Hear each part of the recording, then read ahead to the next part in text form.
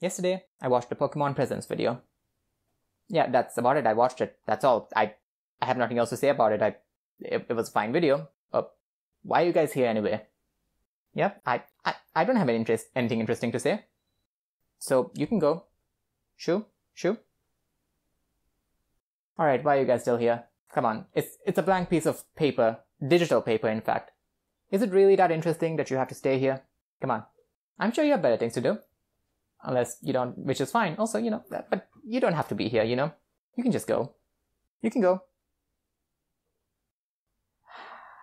Still here, huh? Why are you still here? Come on, I, I told you I have nothing else to say. Just, you know, let's move on. We can just go out and have a fun day, you know? Don't have to be here. People. Fine. I know how to get rid of you. This is gonna loop, so I just wanna say,